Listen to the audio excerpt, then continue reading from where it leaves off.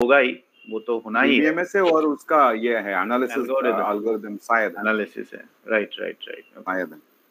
But Java he should learn Java he should he should learn learn Java should learn anyway hope you all enjoy learning Java पता नहीं पता नहीं I will try my best कि मुझे जितना पता है मैं एक्सप्लेन कर सकूँ। I think everybody is here whoever is connected are okay with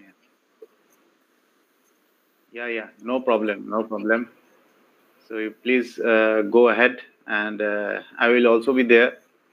Uh, so there will be no problem. I am sure that everyone will enjoy the Java subject, and it is the most important programming language till today.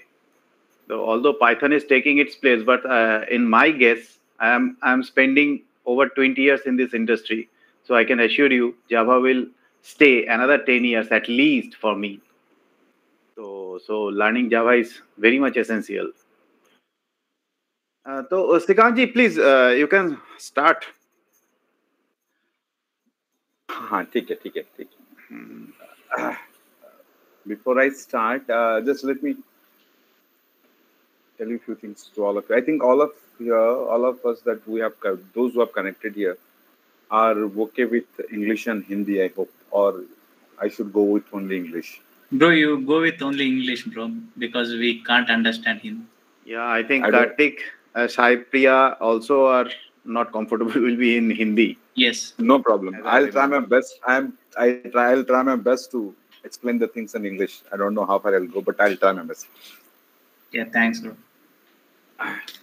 So I can see a lot of uh, like a lot of friends joined, like uh, Asutosh. Yeah, Asu this is this is more. I I am actually I'm more than happy. Like I'm excited to interact with you all. Like I can find Asutosh, Karthik, Apurva, Bipin, Srinivas, uh, a lot of people. Uh, bhai to hai hi. Sai Priya. I think. Good Apurva, evening, bhai.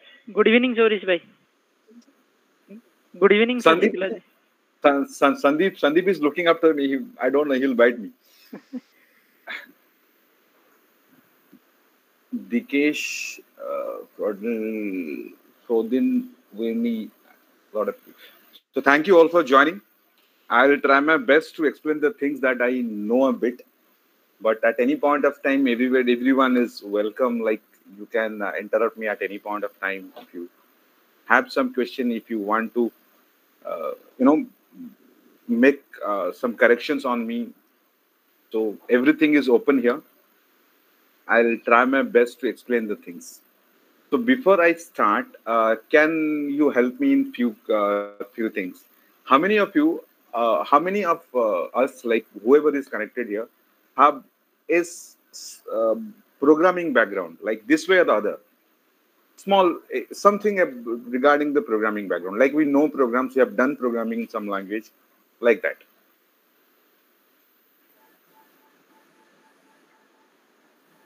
Uh, I don't have any knowledge in uh, programming language. Uh, Ashutosh, you are because I'm from basically- a non- A non-IT, not a background, right? yeah, yeah, yeah, yeah. No problem.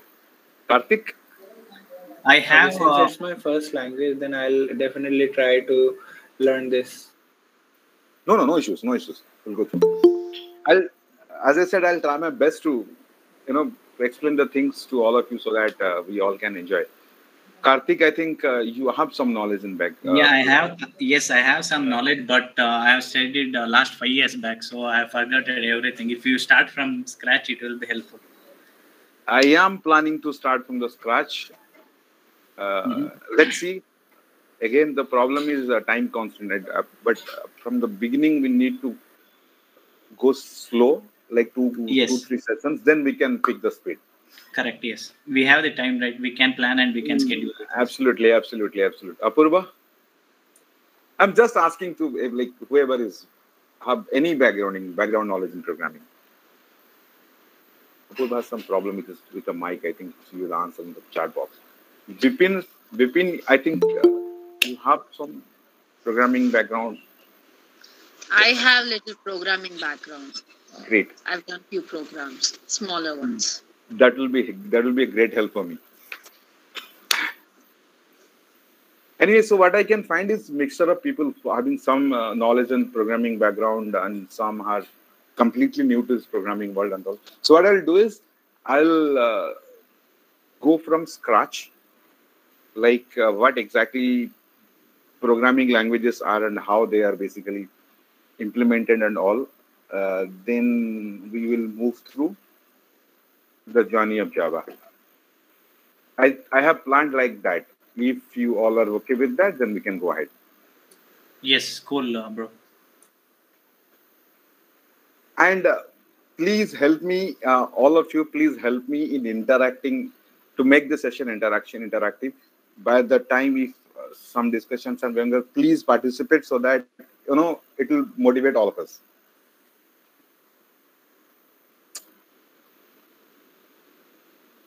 Fine. That's the basic thing. Uh, not in um, not in the prospect of programming language, not in the prospect of computer programming language. Uh, it's us you all will agree with me to go to anywhere, any part of the world, anywhere in the world. Uh, is it happening for all or Yes, Srikant Yes. bhai. Yes, for all. Not uh, audible clearly. all, right? Okay, give me, give me a second, give me a second. Let me check my mic.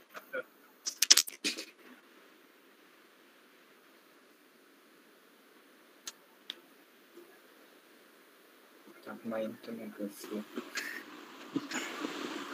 And this is any recording session? uh, Yeah, this is this will be this will be recorded. Shashikala ji, I hope uh, you are recording, na? Okay, so hmm, अच्छा is it audible now yeah, ठीक है ठीक है हाँ कुछ बात कर रहे थे सॉरी जय yeah. I'm I'm just I'm just putting something in it before starting the hard discussion on Java. So I अरे just brother this remember is not something- hard we are no, no, oh, why not? So the thing is, thing is like that. See, mm, uh, the first question comes arise. What are the kinds of Java? Right? If if if if, if uh, somebody asks you, what are the kind of Java? I faced this question somewhere. Right. So right, right, somebody somebody replied replied me. Uh -huh. See, somebody replied me. There are two kinds of Java. One is merge Java and the other is Mid Java. That time, the song was famous मेरे- by our. मे- मेरे मेरे पास और भी एक जावा है अच्छा होगा बस उस समय एक निकल सॉन्ग। चल रहा था बहुत निकल जावा निकल जावा तो मर जावा and mid java those are the two kinds of java anyway you start please proceed Okay, thank you. Uh, so before getting into any computer programming language, uh, I think uh, all of us have completely uh, covered that computer architecture part. At least we have some knowledge. The computer only can understand binary language that is zero and one. That's for sure. It doesn't know anything about, except zero and one. So whatever the thing I'm going to instruct the computer, that should be in zero one, zero and one from format. Don't get scared. We are not going to write the program in zero and one. We will. I think we all know this. Why I'm telling all this? Because whenever we are talking about a language, forget about computer language for a few uh, for, uh, few minutes. You know, language is, is the only way of communicating things between uh, two Your two voice items. is Hello? breaking. Still, Hello? it is still Yeah. it is Oh, still my breaking. is slow. I yes know. yes there are some issue with your voice kanji Issue with my voice, right? I don't know what is happening with this Wi-Fi. Mm. Take a second. Let me change the Wi-Fi if that works.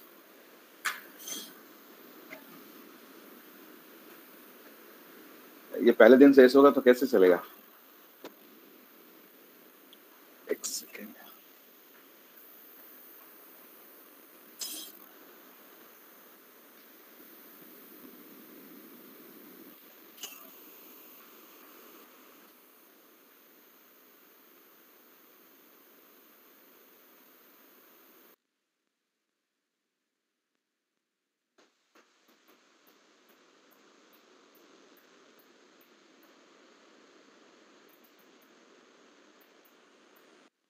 is this fine now?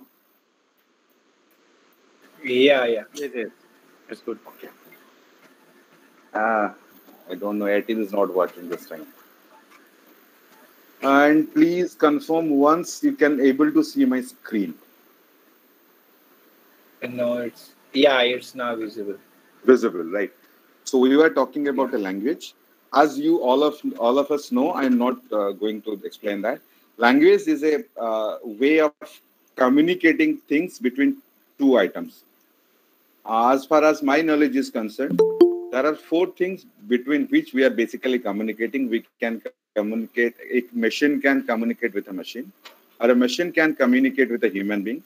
A human being can communicate with a machine, and a human being can communicate with a human being. So these are the four kind of communication we basically know, right? In each of these communication, only one component is vital and required, that is a language. And you all again agree with me, the language should be compatible to both of both these sides. One, the person who is uh, communicating. Second, the person who is receiving that communication. So that is the normal way of communicating things between two items. It could be man to man, it could be man to machine, or anything, anything it could be. So that's why we have different set of languages. If if I know English, if I know Hindi, and if I know Odia, if I have to talk a talk with a, uh, people who know Chinese, uh, then you know this is disastrous. Like I could not able to communicate with these people who is who know Chinese. So what I what uh, I require, I require a translator who can translate my things into Chinese and vice versa, so that you know communication can hold good. So to learn the language more precisely, we need to understand how the languages has been generated from uh, back in in the back, back in back in days, like when computers are, are basically created like first generation computer, second generation. I'm not going that. You know, the first language, as I have said with you, writing programs in zero and one. This is a machine level language where machine can directly understood. And the next generation of language, we have started to translate, transfer some of the zero one codes into mnemonic codes. I'm not going in detail about this because I know you all of all of us knows about this. I'm just refreshing this one, I'm just trying to touch high level language, then followed by Java, so that you know a journey of Java will be completed. I hope all these are okay with all of you, right? Yes, bro. Okay, thank you. So when we think about machine level uh, language, see for a human being, it's it's always pretty difficult to write everything in uh, zero and one. Say for example, if I have to write uh, are two numbers 23 and 34 back in days when the computers are generated there will be only one language called as machine level language we need to convert this 23 into a set of 0 and 1 plus is into 0 and 1 34 into 0 and 1 then finally our computer can understand and give us the result. This was the life back in the early days when computers used to start right? And i don't have to explain you all are very all are capable you can understand. Writing everything into zero and one is more than disastrous. Like as a human being i cannot remember all the, all the things in zero and one. Even if at some point of time if i have to write my name you can understand the problem right so few years later uh, the people that pins here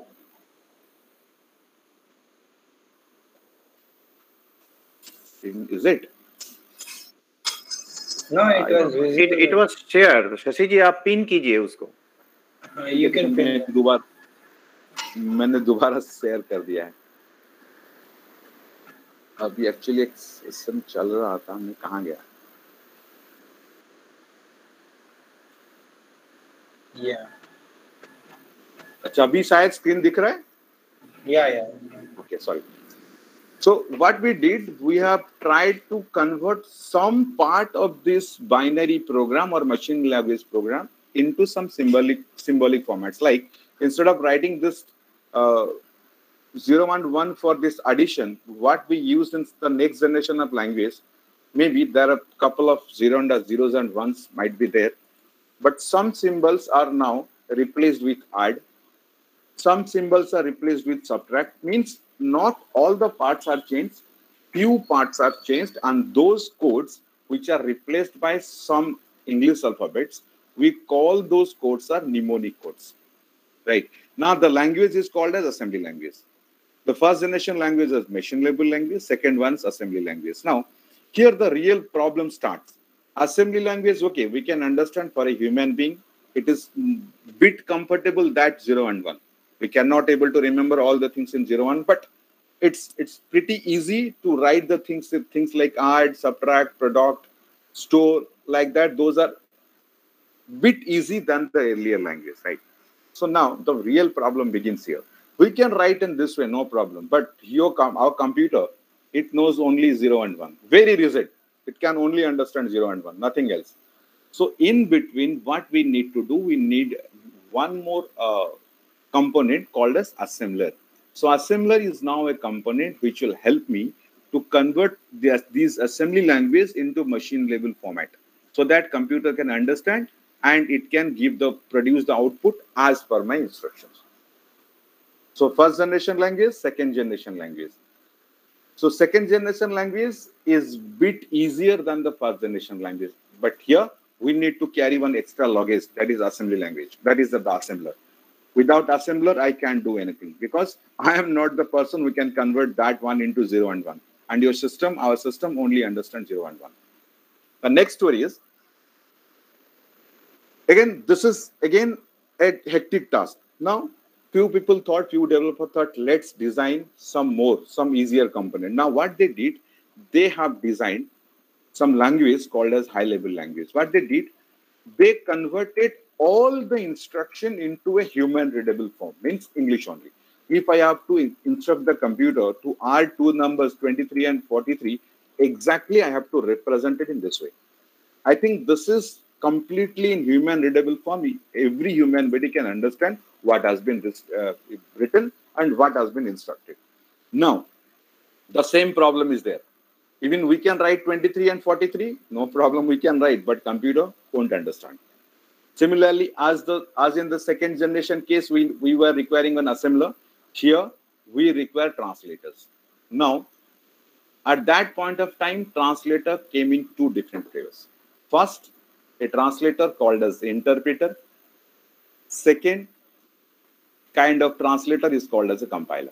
So two translators, two very powerful translators has been designed whose responsibility is to convert high level language into a machine readable form language so that machine can understand my language and give the output as per my instruction. Fine. I think up to this, the people who are starting from the scratch, they are comfortable. Others, for others, I know it's a, it's a boring one. Uh, yeah, we are, hope, we are good. Yeah, we are. No, no, it is good. That's it. Yes, so, so far it's good. Yeah, thank you so much.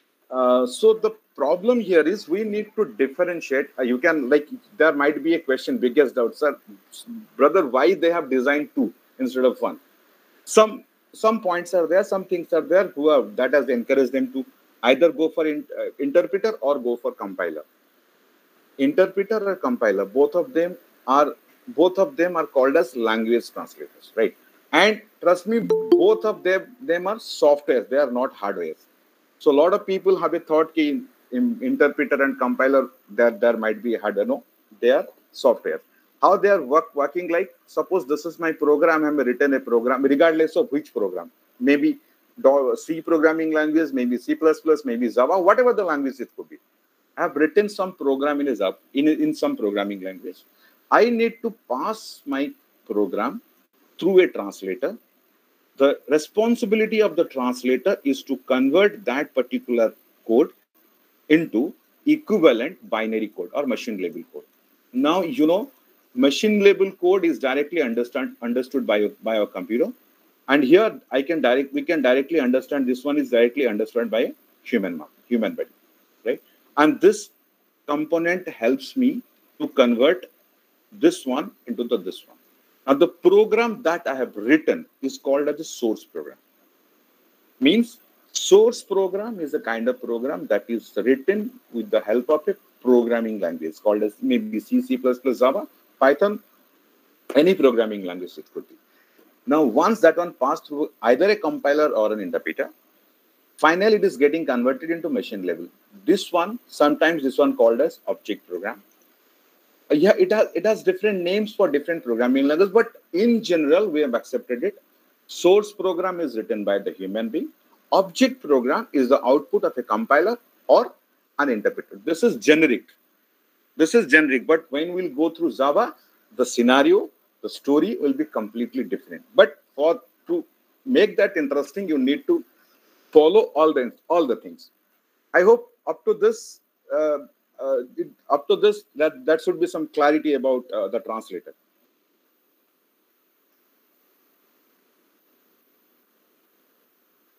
I hope everybody following what I, I'm, I'm just trying to explain. Yes, bro. We got the things. Very clear. Thank you. Uh, uh, so let us differentiate between this interpreter and compiler. Again, I'll tell you what I'm what I'm explaining now. This is not exactly in connection with Java because interpreter and compiler both are differently defined in Java, but in generic they are different. So don't mix both of them. As we grow in the programming, we'll understand the difference. So for this class, for up to this, what exactly interpreter is and what exactly compiler is, let me explain. With an example, a simple one. Suppose I have written a program that consists of pipelines, pipe programming lines. I pass these programs, this particular program through an interpreter, and also I pass this program to a compiler. Now let us see what exactly the difference between these two. Simple difference. As the name is interpreter, the role of the interpreter, once you submit the program to the interpreter, interpreter will take the first line first. It will convert the first line into object program or machine readable program code, execute that one. Once everything is completed for line one, then it will go to line two. Once everything is completed for line two, it will go to line three. If it found any problem, maybe syntax error, maybe some spelling mistake, maybe some grammatical mistake, whatever the mistake it could be, due to some reason, if line number three could not able to convert or could not able to execute, this interpreter will stop its execution right from here. This is the behavior or this is the working of an interpreter. Interpreter always go line by line, not whole at a time. As, as, I said, it will go for line number one first, convert, interpret. Second one, second one, convert, execute. Third one, convert, execute. And this procedure will go on and on till I reach end of the file. This is the role of an interpreter. Similarly, for compiler, compiler will take the whole program at a time, whole program. It goes for a checking called as syntax checking. If syntax means uh, the rules by which you are writing a program, like you have written the pro- written the proper statements or not, with the proper rules and regulations or not. If it found any problem, it will give you all the errors at a time, not one by one at a time. Once you clear all the errors, then you can proceed for execution. That is the only difference. Compiler goes whole at a time, interpreter goes line by line. But both have one similarity. They are, both of them are called as language translators. Right? Now, here I have a question. Question is, interpreter and compiler both are softwares. Now, once I give the interpreter, the, the interpreter, uh, let's say, uh, I'll, I'll go, go like this. A person is there who can translate Chinese to English, only Chinese to English. Now, can this person be used to translate Japanese to English? Can it be? He knows only Chinese. To, he knows Chinese, he knows English. So he can translate Chinese language into English. Now, I asked him, Can you, brother, can you please translate Japanese to English for me? No. Immediately he will say, No, brother, I'm sorry. So, what I mean to say is, for every language, there is a unique interpreter or unique compiler. C compiler cannot able to compile Java program. Java compiler cannot able to compile C program. So every program has its own compiler or interpreter. I have to follow accordingly. Fine. Yes. That's great. So now I think we understood the uh, the stages of programming languages, how they are generated from zero, from machine level language to high level language. Apart from all these languages, we have one more language called as a fourth generation language. We are calling that one. That is basically SQL. Uh, Swaris will take will take the responsibility of this SQL in RDBMS. He will explain everything about SQL. Uh, we are not going in detail about SQL. So now why I've discussed all this because you know the first thing we need to understand is Java is a high level language. Means the statements I am going to write in Java are purely in human readable form. We only need to understand how they are used, when they are used, and when where I can how I can uh, improve the efficiency of the program. That's why I've gone through all these uh, basics. Right? See, when when languages are generated, then the next biggest biggest question there in the mind of all the developers are let us create a simple model for programming language. How the programming language, what is what are the different types of ways that we can able to solve a particular problem. Say, for example, somebody has assigned a bigger task to you. Suppose this is a particular thing I need to go for a challenge. This, this is a particular task I need to perform. So they have designed a model called as procedure oriented model. Or somebody call this as procedure oriented approach. What exactly that one?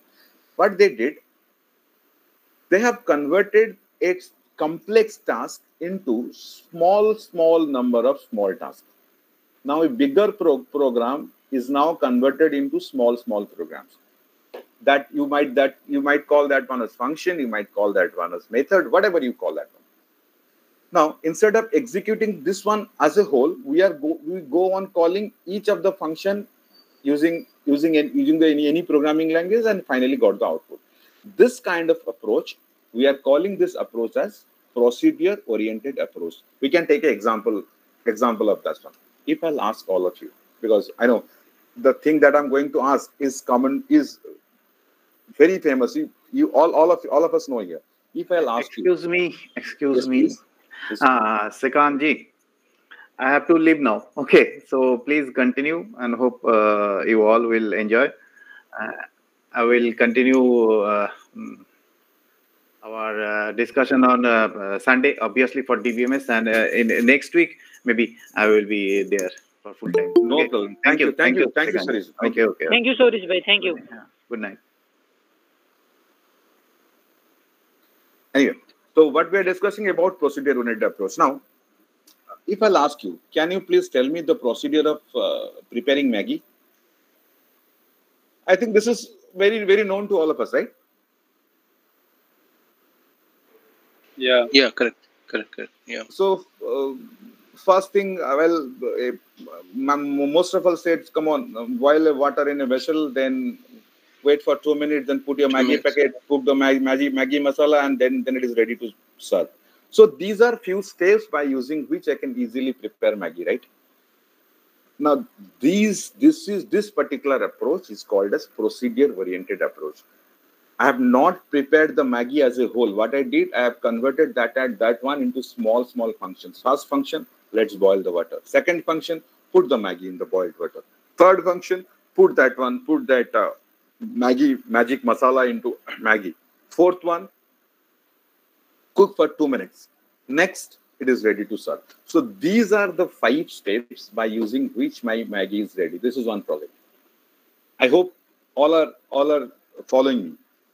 Yes, ma'am. Yes. And this approach is called as procedure-oriented approach, right? And this approach has n number of advantages and n number of disadvantages. Advantage, you know, when a complex program is converted into small small programs it's very easy to uh, find out the error very easy to find out the error very easy to write the codes so things are easy right but again there is a difficult part also difficult parts are suppose here I said you all of us know the process. Now, in between what, what we did, we have prepared the Maggi for 10 people. We are preparing the Maggi for 10 people. We have brought all the things, all the things, all the things. The solution is there. Now, in between, I asked, can we go for 100 people? Now, again, I have to restart the process, right? Again, I have to restart the process because things are procedure oriented. We need to restart the entire program. We cannot create that one dynamically. No, we cannot create.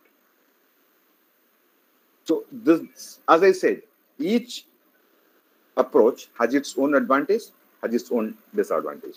So procedure-oriented approach or functional approach has some advantage, has some disadvantage. This is one approach. So now the developer thought, let's think the problem as we are visualizing in our in a normal human brain.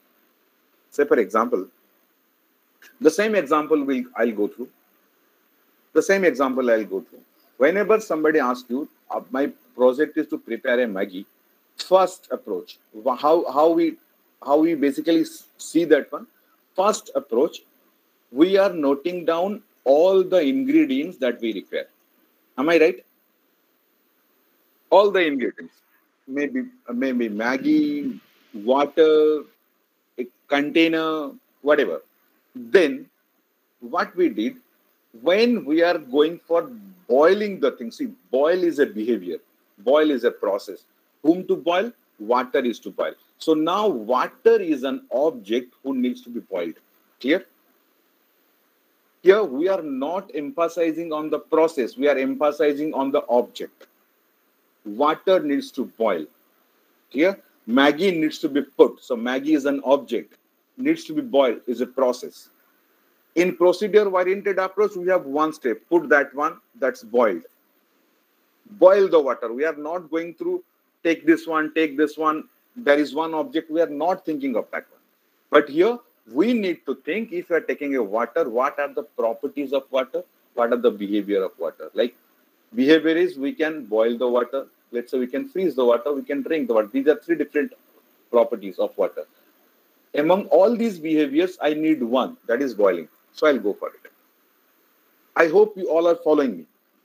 The differentiation, not basic differentiation between a procedure-oriented approach or and an object-oriented approach, right? Yes, bro, it's clear. So in order to understand object-oriented approach, as we go on, we have n number of examples that that, is, that will give us much clarity. Uh, in let me tell you the advantage of object oriented. Whenever we are going for object oriented approach, we need to understand three things. One is uh, definitely a class, one is definitely an object, and the third one is a reference variable. We need to understand about these three, then we can e easily understand object oriented concept. Can you repeat this once more, bro? This one, two, three. First one is a class. Okay. Second one is an object. Third one is a reference variable. Okay, okay. We'll, we'll understand in two, three minutes with a simple example. Then we'll continue the discussion on features of Java and why Java is there and why we should learn Java. We'll go through. Now, uh, think of... In here, we will not use abstraction and encapsulation. Abstraction and encapsulation will go through once we could able to understand what are the basic things of an ob object-oriented program. Then those are the features, encapsulation, abstraction, polymorphism, uh, security, a lot of things are there that will follow. But to understand all of them, we need to understand the basic structure because yes. polymorphism okay, okay. is an example of starting where? Huh. So, fine. It's, so let us understand all these three things because to understand, see, these three things are not only for Java, this is for any programming language where object-oriented is supported. Even this, of the object-oriented model that we have, we can also follow this structure. No problem at all. This is generic. So let me let me tell you what exactly a class is, what exactly an object is, and what exactly a reference. Very simple. Uh, let's say we all of all of us know. Uh, I'll take a brand. Let me let me uh, talk about. Uh, I hope if I'm writing MI4A TV, this is quite all. This is known to all of us, right? There is a model MITV. Okay. Before MITV was brought into market, the engineers, whoever there for MI, they definitely proposed a model. Fine, definitely proposed a model. In that model, they have given some specification. Right, the RAM size, the operating system, uh, like the screen size, the color. Let's say these are the properties of MITV. and using all these properties, what we can do, we can uh, browse the internet, we can uh, run YouTube, we can uh, see all the TV channels like that. So here, two things you need to uh, concentrate actually. Properties are like what is the RAM size, what is the internal ROM size, what is the operating system. These are the properties of MI and these are the behavior of MI. Properties, behavior. Attributes, you can say functionality. Clear? And this is what I'm talking before MITV came into market. Clear? Before it is produced. I'm talk I'm just before the production. It is just the, the designing phase. Clear?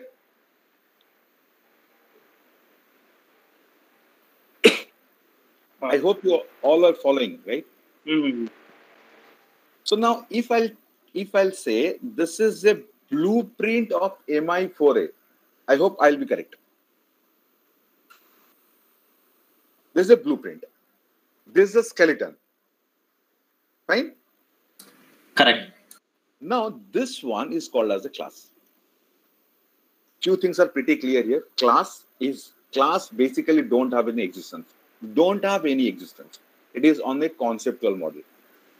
I propose a class called as MI4A. The name of the class is MI4A. That means it contains some properties like internal RAM size, uh, sorry, RAM size, ROM size, operating system. It can contain what is the screen size and uh, the color of the TV. Then using and what I can enjoy as an end user, what I can see, I can browse the uh, browse the internet using this TV. I can see all the movie movie channels. I can browse the YouTube also. So these are the properties of MI4A, properties and behavior. Right? If I combine properties and behavior together, what comes comes out is called as a class. I hope clear. Yes. Yeah. Yeah. Thanks. Yeah. Now, once the plan is ready, plan is approved, plan is ready. Now, this is for manufacture. Now, all the TV that are that is manufactured from this design will have same property, will have same functionality, right? Suppose Yes. Yeah. suppose 1000 televisions 1000 mi tv sets have been manufactured. Now all these tv sets have same functionality. Maybe color color might be different ram size might be some some cases might be different but not all the cases. But maximum properties are same. Almost all the properties and all the behaviors are same. Now these tv sets does this tv set has existence or not Yes. like yes. i can i can see that tv i can touch that tv right? It has some existence right? And what when i say this is a mi tv that means it contains all these properties. Similarly when we say int a can you recall? When i say int a means a hold all the properties of integer right? Similarly when i say this one is a product product of this class which class? Mi4a fine i understood. The properties of mi4a basically built in here. Now this is what called as an object. Am i clear about object? I hope some clarity there from like class and object right? Yeah, yeah. now from a basic point of view which comes first? Class comes first or object comes first? Class comes first. Yes. class comes first. If there is one class how many objects i can create n number of n number of so the relationship between a class and an object is from one class i can grow from n i can It's like a template, right? yes it's a template only. Class is a template only. Class is a Like, uh, template class is a blueprint class is a concept yes please Class is a blueprint of an object like. Yes, you are absolutely right. It's a blueprint only. It's a Ah. blueprint only. When it is coming into reality, it's an object. Or sometimes you define object is an instance of a class. But class is basically defined as the combination of behaviors and properties together. But if you if you ask few people about the definition of the class, you can you, you have some answers like class is a combination of similar kind of object. But if I have to define a class with the help of an object, why should I define it? That's what my that's what I think. When we say class, that should be a clarity. What class contains properties and behavior. That's it. Nothing else. Only very simple. The properties, what it contains, and the behavior, what I can do in, in that in that class. Right? Now I think these two terminologies are pretty clear. Class and object. Yes, sir. Yeah. One class, I have n objects. Now, the next one. MITV specification, I brought one MITV. Then, with that MITV, TV manufactured manufacturing company gave me a remote, right?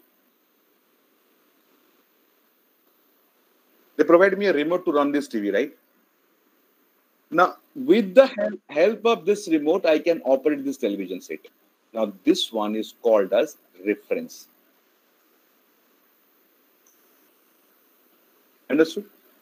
With that small remote, I can operate that TV. TV is an object. Clear.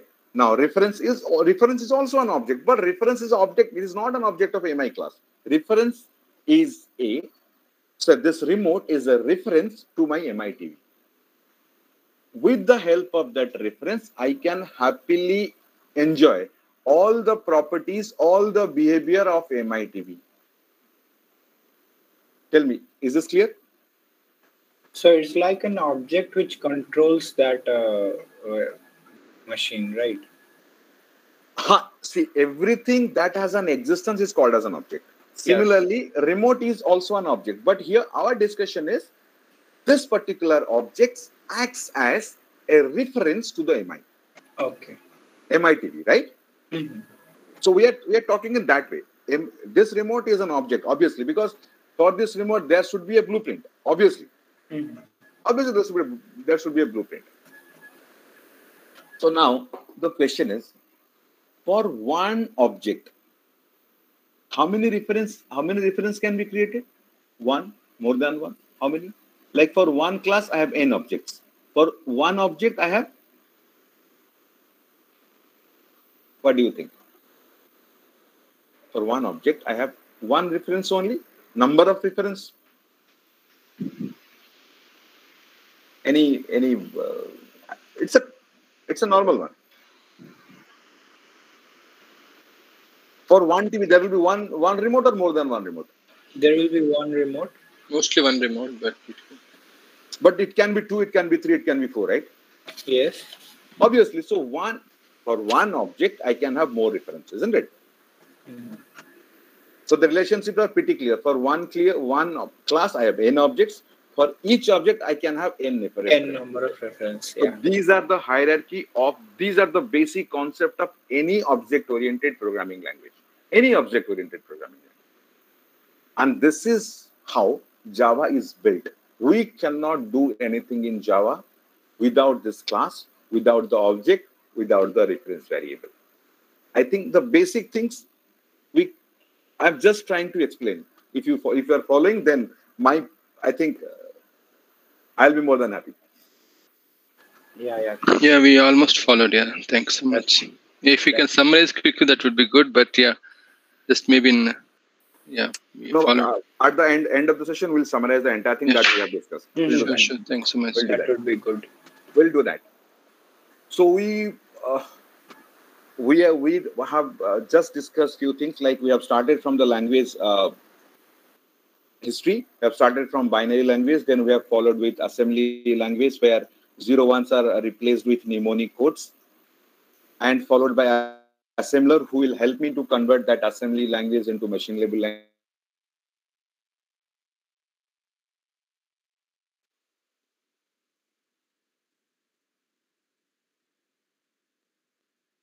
convert भाई आपका आवाज थोड़ा cut रहा है I mean, executor program. Now, when we when when we are coming to a programming language, and where when we are into a, so- into solving a particular problem, we have two, we are following two different approach. One approach is procedure oriented approach, where we are emphasizing into functionality, not into object. But in the second format, the most priority or those most priority always goes to object. Here, priority are functionals. Here the priority is object. And for to understand object we have just discussed three very vital things class object and reference variable. These three are very very vital to understand any object oriented programming concept. I hope up to this we don't have any problem right? Okay let me tell you how this java anybody anybody here interested to know the history of Java, that I don't think we declare that one. no. Oh, we should not go there. Yeah, yeah. Right. So I'll directly talk to Java. Let me let me clear one thing. Java is designed only to follow object-oriented programming language. So Java is object-oriented programming language only. But if somebody asks me, is, is Java a pure object-oriented programming? My answer will be no. No. It is not. It is not. We have some reasons we'll follow. But yes, it is true. Java is an object-oriented programming language. Right? So let me tell you the first difference between Java and any other programming language. Like just earlier, I, I have said with all of you, whenever there is a programming language, we need a translator. That translator converts the program into machine machine readable format so that my computer can understand and it can directly give me output. So this is the normal scenario or generic scenario for almost all the languages, not Java. Like in C, we compile the program. Then finally it is converted into object format or binary format. We have executed the program, done. No problem at all. Fine. But in Java, let, let me let me tell you the problem here in this approach. whenever we are downloading an exe file, see, whenever I said this is in machine readable format, definitely it will be in a exe format, executable format. Now, whenever we are executing this particular one, there might be chance some very intelligent people there in the world who what they can do, they can inject their code directly into this they can in, inject their code directly in this. So sometimes we, we, we say that my program has been hacked or there are some virus there in my program. What these particular codes will do, they will manipulate in your, your program in a different manner. So this is where the threat is. I hope this part you could able to follow. Suppose I have written a program to add the add two numbers. Now they have injected one more code which will convert my plus into multiplication. Now the story is wow, I have written the program for addition. Now it is multiplying. So this is what the effect of virus is. But that is not virus. This is only the programmer or the people who have in- injected their code into exe. That is the problem. but in Java, the scenario is completely different. Java, that's why Java is called a secure programming language. Now, suppose I have, I have to write a program in Java. This is a Java program. Now, once I have completed writing a Java program, the next step is to compile. Obviously, to compile. We have a Java compiler. This Java compiler, as as as the as per the discussion, this code should be converted into machine readable. Please listen to my words. I said the compiler is responsible to convert the pro- source code into object code, means machine readable format. But this was not true for Java. I repeat, this is not true for Java. Java says if, if you pass this program through my compiler, what I'll do, I will convert that Java program into some intermediate format, not machine code, not machine code, some intermediate format. And that format is called as bytecode. I repeat, this is not in machine readable form. This is in some other format. That format is called as bytecode. Definitely, there, there may be a doubt Brother, if it, it is not understood by the machine, how come we able to execute? How come we able to produce the output? Because machine can't machine can't understand. No problem. This is not machine dependent language. We have n number of solutions for that. What Java did? Now Java said, once you compile the program, please fed that program into one more component called as interpreter.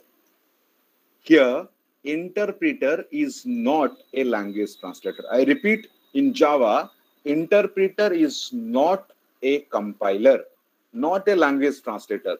This interpreter is called as JVM, known as Java Virtual Machine. I repeat, once I write a Java code, I need to compile it. Once I compile the Java code using Java compiler, it will give me an intermediate code. That code is called as bytecode. That is not a machine, that is not in machine readable format. This is an intermediate format only. That intermediate form, format should be fed into one more component called as interpreter, which is none other than JVM, that is Java Virtual Machine. Now, Java Virtual Machine is responsible for producing sorry this java virtual machine is responsible to producing the corresponding machine level code. Now jvm is responsible I, we can say in general jvm is a component which is responsible to execute this bytecode. So bytecode cannot understood by machine. To understand that we need one more one more thing that is called as interpreter. You can ask me here. If this is the case performance of java will be definitely degraded. Am i right? Because we are carrying lot lot of lot of additional luggage. Compile compile this one interpret that this one then go for execution. Come on this is rubbish. I think this might be the outcome if somebody thinks like in a normal in normal aspect. Am i right? Yeah, correct. Yeah. but here see if we need some security we need to sacrifice a bit of performance. You will agree on that. Simple. If my entire house is locked if i want to secure my entire house i'll go on putting locks in almost all the doors. So to open those locks i need time. Of course i need time. But by doing that my house is secured you'll agree with me. So to make it secure a bit of compromise can be done. So performance might degrade but not that way not that great degradation. Small degradation will be there that's for sure. Now how it is? Secure. Let me tell you. So here the thing is let, let us see let us say ki the people who are very intelligent people they are trying to write their bytecode directly here so that it can be getting converted. There might be a chance right or wrong? In the same case. But here here your jvm java virtual machine is very very intelligent. It has a sorry it has a component called as code verifier. Code verifier. What it will do? Code verifier will confirm that the code that is the byte code. Basically that byte code is came from a valid java compiler or not if it is not came from a valid java compiler it won't get interpreted. That means even if some person injected his or her code since this particular code is not came from this com- this compiler jvm said boss i don't know you. You please move you please go back. So those part will not be executed. So chances of getting corrupted up or chances of getting changing my programming code will never happen so this is the way how java maintains security. Trust me if you are downloading any java bytecode program any java jar file program you are safe. There there there cannot be any kind of code which will you know uh, make harm to your computer. Because java is secure. And this is the mechanism this is the this is one of the mechanism why it is called secure. So for here, two definitions has been already changed. That is the definition of the compiler and definition of interpreter. Previously, what we discussed, compiler will convert the entire one into machine code. Here, no. Compiler will convert the entire one into byte code. Now, interpreter, basically the name of the interpreter of Java is called as JVM. JVM will not a language translator, is basically there to execute this byte code. I hope all these things are a bit clear regarding Java. What exact, how Java is different from all other languages. So this is how Java is different. This is one part only. This is, we say Java is secured in that. If you have any question, we can go ahead. Bro, one thing uh, in Java compiler itself, we have uh, Java virtual machine, right? Java compiler itself, we are Java virtual machine. No, no. See, if somebody is uh, using Java 12.12.0 onwards, they might they might go for only one statement Java followed by something dot Java. That doesn't mean ki we have Java compiler is inside Java. Uh, the JVM is inside Java compiler. No, let me tell you what exactly. Two things are there. One, there are two different kind of users. One, user is called as a programmer. One user is called as the user or your client for which you are you are creating a creating an application, creating a software. Now the programmer need to write the program, compile the program, test the program, means execute the program. But here, this user only need to execute the program. He don't need to compile the program. He don't need anything else. Am I right? Okay. For this programmer, we have a component in Java called as JDK, Java Development Kit. Java Development Kit is one component where Java compiler, Java interpreter, all are there. Fine. But for user or the client, only JRE is there. JRE stands for Java Runtime Environment, which is a part of JDK. Because this particular person only need to execute the Java program. He doesn't, he don't need to compile the program. He don't need to write the code. So since JRE is inside JDK and JRE can be separated, so we cannot say Java compiler contains interpreter. I hope you got your, you got that clarity. Yes, got it. So if if I uh, plot the structure actually, how Java will look like, this is what Java JDK is. This is what JRE is. JRE means your JVM and maybe some libraries. But here, Java compiler is there. So the entire one is called as JDK. So JVM Okay. is a separate component and Java compiler is a separate component. Yes, got it. Thanks. But as a programmer, we need both. So whenever we are installing Java, we have to make sure we are installing JDK, not JRE, because using JRE, we cannot able to compile the program. We cannot able to write a program and compile the program. We can only execute the program. And in Java, you know, the thing that is that can be executed is only bytecode, nothing else. But to create a bytecode, I need a Java compiler. So Java compiler belongs to JDK, not belongs to JRE. So after this, if we'll download Java and try to use it, please make sure you are downloading JDK one, not JRE. I hope. Uh, can you please, please, please tell me? Srikanth भाई हाँ बोलो हाँ बोलो श्रीकांत भाई code blocks में जावा run होता है क्या Uh, okay, okay, good, good, good, good question. Hmm. As I as I just said, said, Java JDK is a component who, which, which will provide me tools to compile the program and to run the program. JRE is one more tool that will only provide a tool to run, run the program. Now, to write a Java program, what we need, we need an editor. And Java, unfortunately or fortunately, I don't know, Java do not provide you any kind of editor. Java don't have any editor. So we can use a lot of different editors. We can use Notepad. We can use uh, Sublime. We can use Notepad++, we can use Eclipse, we can use NetBeans, we can use IntelliJ, we can use Code, code blocks, where I can write my Java code. So to write the Java code, I can follow any editor. If that editor has a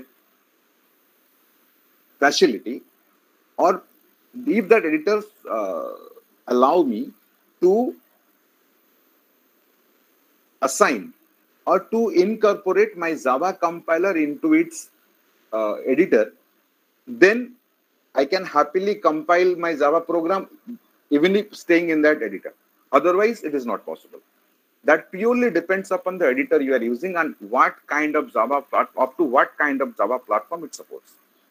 We have a lot of different kinds of editor, like the famous editor, the people who are using, uh, who are bit expert in Java, they are using Eclipse some people follows uh, sublime some people follows uh, netbeans so different kinds of java editors or java ids are ids stand for integrated development environment are there.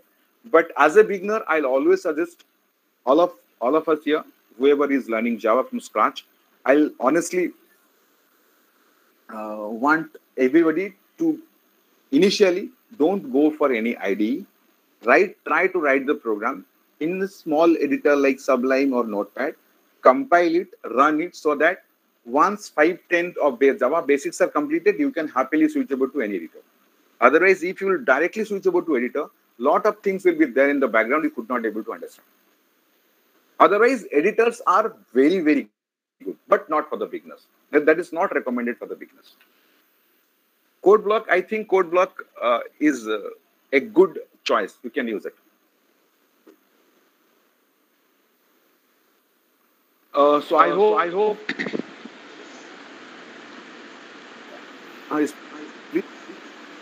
Shrikant, why your voice is breaking? Uh, there was a call. call. That's why my voice was. No, I think now I think now it's okay. हाँ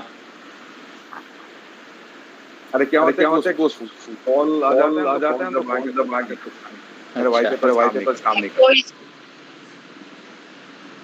कोई कोई कोई eco किसी का शायद speaker on इसलिए को आ रहा है so i think uh, we have only discussed few basics of java i think up to this uh, i have tried my best i don't know you all अरे बहुत सही था अरे श्रीकांत भाई श्रीकांत भाई ये ये बढ़िया ये था क्लास ये क्लास class लोडर loader क्या होता है sorry sorry ये class class class loader class loader class loader हाँ हाँ ये बाइट ये byte byte byte convert convert करने के लिए करता है क्या uh, no, Clive, no, Clive is one is part, one part, But class has a lot of lot of other functionalities also.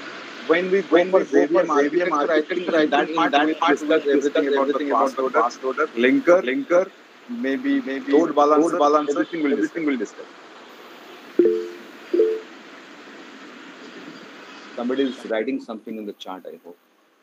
Signed echoing echoing. Sound is echoing करके Somebody speaker is speaker is on. I hope. अरे Srinivas by your speaker was on. हाँ now I think it's okay. हाँ मेरा क्या No, पता it नहीं was- पता it नहीं was- Yeah, I think whenever you're on Srinivas, please check. Yeah. So I think at least we we understand what exactly Java is and how it is one way different from other programming languages. And now we are entering into a world where we'll only learn object-oriented programming language, and uh, maybe we, we might discuss few features of Java. We can expect this as a seven marks question in our semester also. I, I have seen a lot of uh, universities, a lot of uh, colleges putting these questions in their uh, semester exams and tests. Please write down the, all the features of Java. So, in short, Java has a lot of features, but I'll only discuss few of them.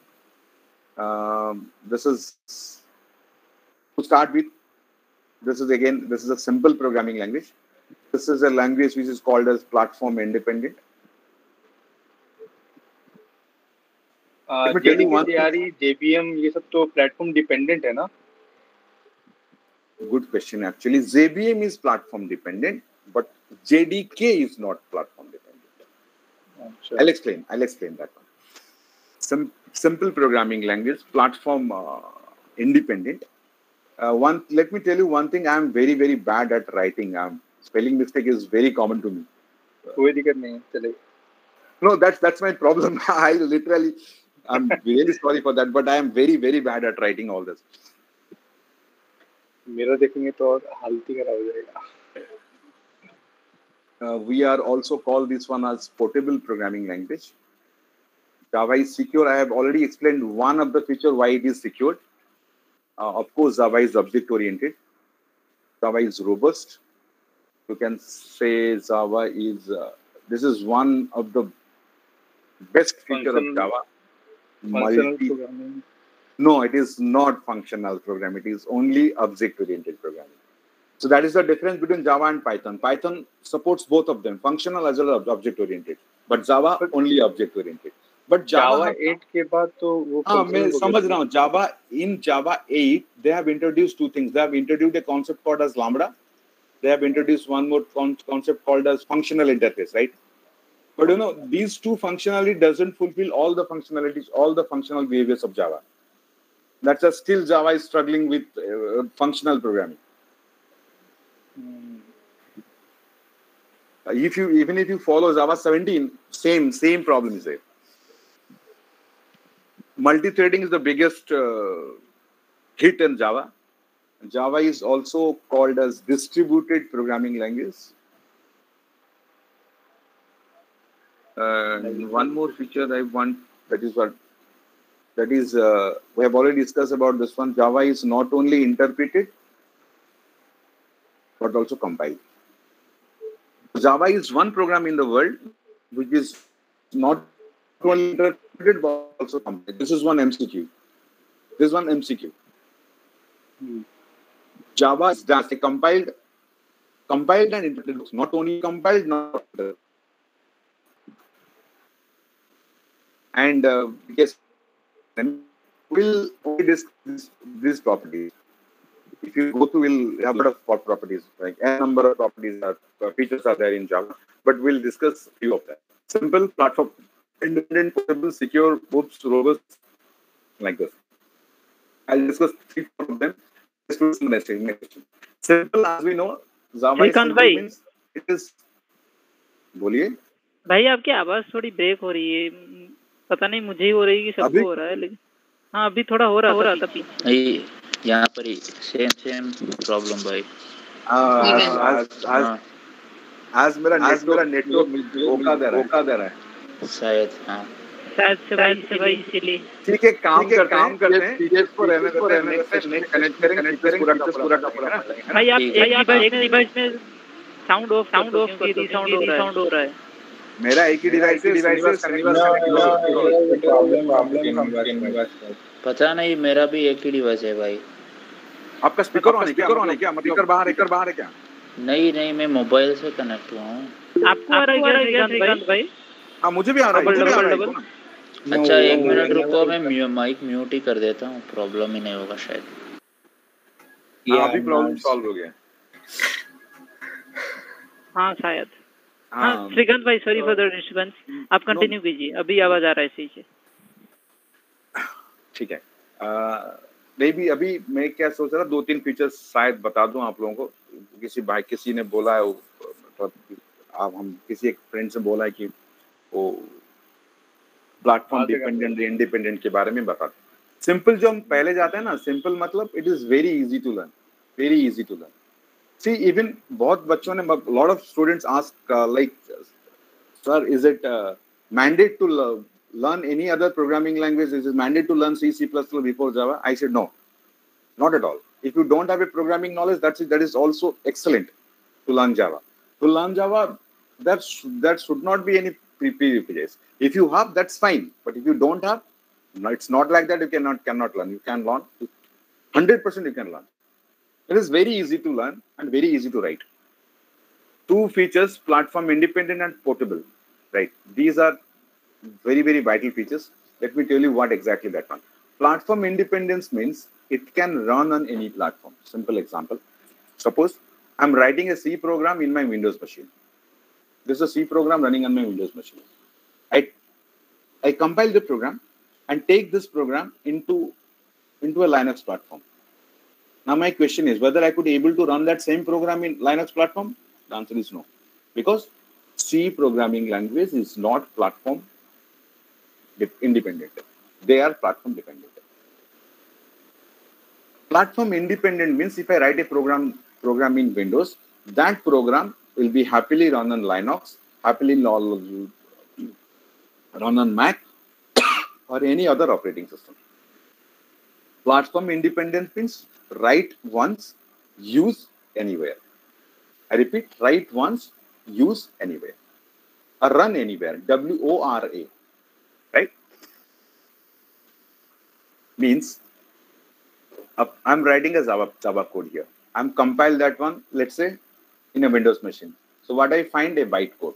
Now, who is responsible to run the bytecode? As we discussed, your JVM, right? JVM. Now, here, see, next two minutes is very, very vital. Now, JVM is responsible to convert this bytecode into machine readable form. Now, the question is, which machine? Machine containing Windows, machine containing Linux, machine containing Mac. Which machine? Now, the real struggle begins. Now, you can see JVM itself is not in machine independent. JVM for Windows is not compatible with JVM for Linux. It's not compatible with JVM for Mac. No. JVM for Linux is different. JVM for Mac is different. JVM for Windows is different. JVM itself is not platform independent, but the bytecode is platform independent. Once I have converted that into bytecode, now the JVM installed in Mac can happily execute it. JVM installed in Windows can happily execute it. JVM installed in Linux can happily execute that. We don't have to rewrite the code. That is the only difference. Java, JDK is platform independent, no problem at all. But JVM is not platform independent. Overall, we say Java is platform independent. We can run Java happily on any platform. But to run the Java program, one basic requirement is there, JVM. If JVM is not there in your system, you cannot able to run any Java code. That's for sure. Will you?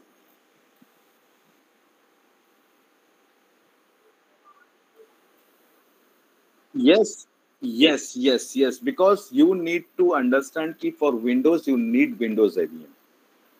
See, whenever you are downloading Java, Java comes in different flavors. Java comes in exe format for Windows. For uh, Linux, it is VIN or maybe in gunzip format. In uh, for uh, Mac also that particular format will be there. So it is if you go to Oracle site, Oracle website, you'll find all the Java versions. So I hope all of us should use latest version of Java so that we can learn new things. Java has been enhanced a lot. Like if you follow Java 8, 8 after that, in uh, the biggest uh, change came in 1.5 version. Then after 1.8, tremendous uh, functionalities has been added. Tremendous functionality. So if you install that, you will enjoy. I'll I'll go to a very funny question. Uh, like we basically use we basically use like Java. We said what exactly uh, we basically ask in some forum what is the what is the gender of Java? Uh, this could be a rubbish question, right? This is only a fun question. This is nothing related to any, any technical things like that. We used to discuss this one. Java, what exactly Java is? What is the gender of Java? What do you guess? the people who knows about definitely definitely yes. smile on mile on his on his by gender मतलब male female पूछ रहे हो क्या हाँ क्या लड़की है क्यों क्यों पता नहीं लग रहा है ऐसा लग रहा है आपको आपको very special. I am going with gender, not to say No, no, not. Why we call? Why we absolute light? Absolute light. We call basically Java as, the girl, girl. Why?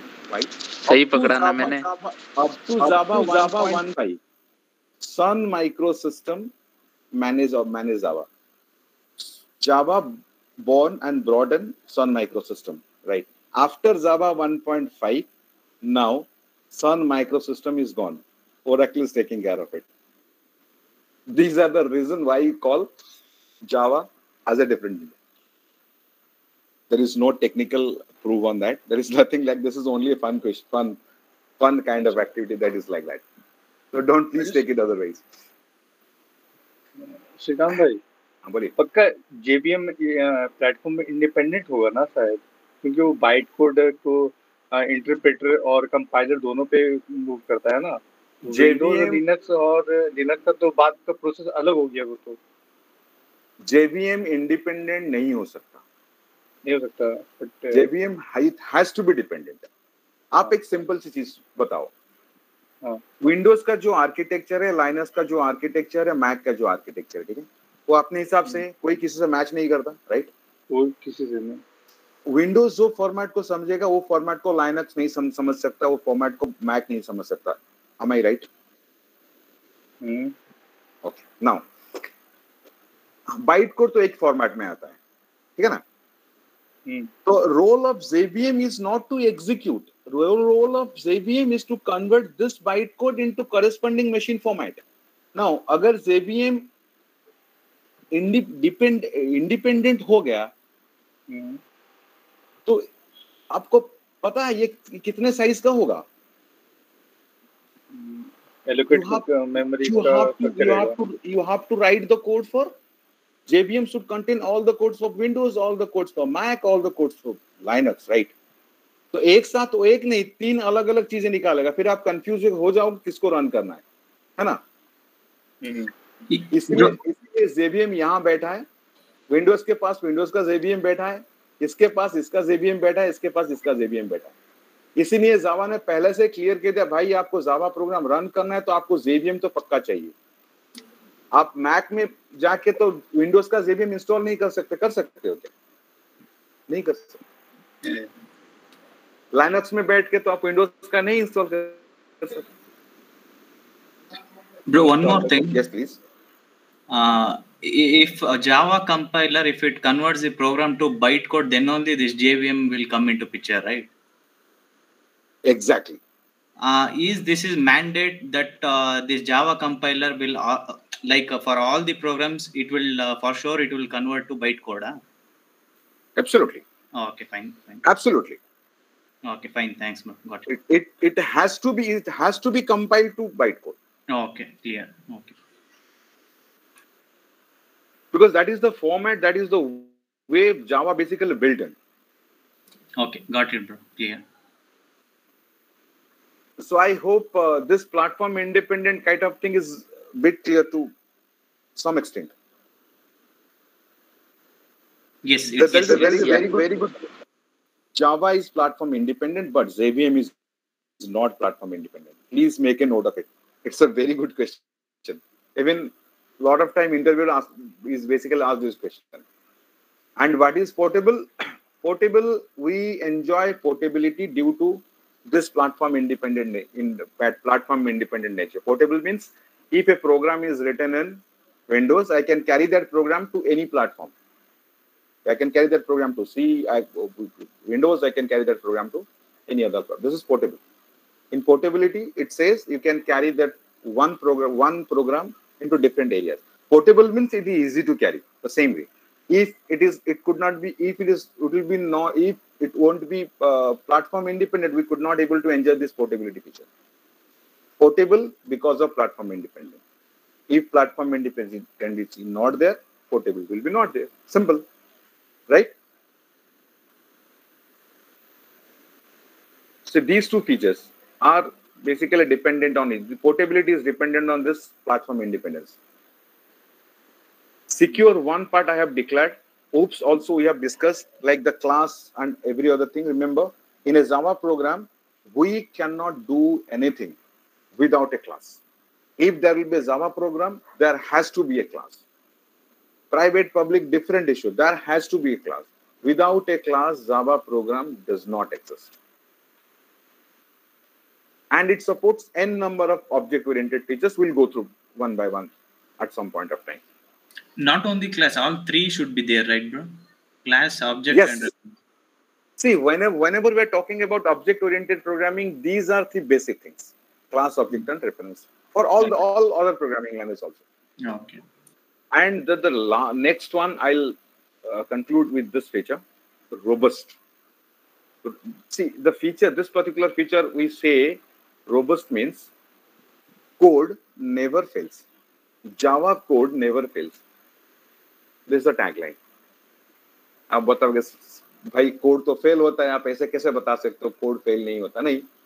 Basically it happens very less chance to fail the codes are fail robust see to achieve the robust feature we have different different things will I will I will go with example here there are two things one is compilation second was interpretation you know yeah in order to run a java program i need both compiler as well as interpreter both i need both the responsibility of compiler is to convert things into bytecode. In that process, what it does, it checks n number of things, not one.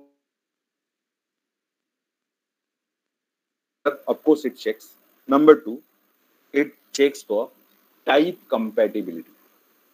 This is the most valuable feature. Type compatibility means this is a simple example. In C programming language, if I am writing integer a is equal to 10.23, will it be valid or invalid?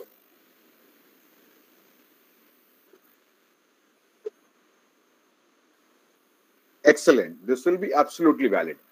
But by mistake in Java, you we all are trying to write this. Compiler will definitely give you an compiler error. This is what called as type compatibility check. And this is the responsibility of Java compiler. Yes, that this is why this is why it is called a strongly typed.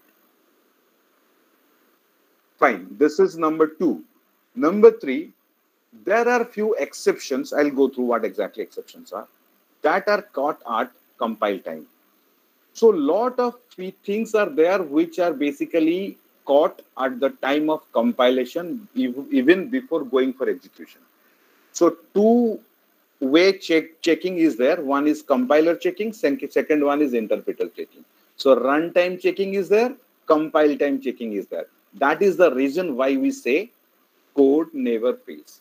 So failure code failure in Java code basically happens very less, very less. That's why that's why we call this one as robust. One other mechanism is there called as exception handling. Exception handling means simple. Exception handling means uh, let me tell you uh, the exactly the things what what exactly called as exception. Suppose you are working you are working on a project.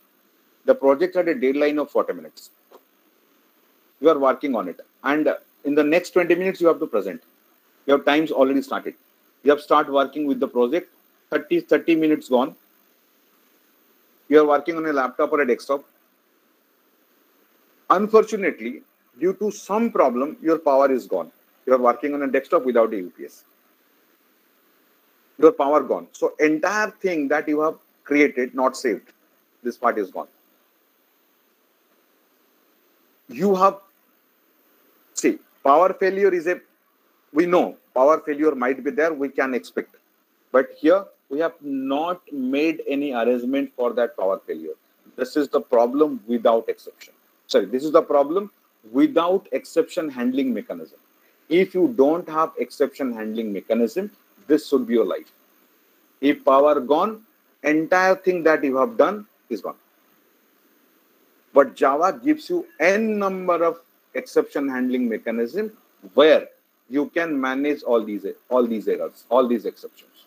The simple way I can put an inverter, I can put an UPS. Now my job is done. If there will be a power failure, UPS will take the other part. Similarly, Java says if you expect some error in this code, put that code in a mechanism called as exception handling mechanism. So the exception handling mechanism in Java is so strong that we can handle almost maximum exception that can be generated from a program.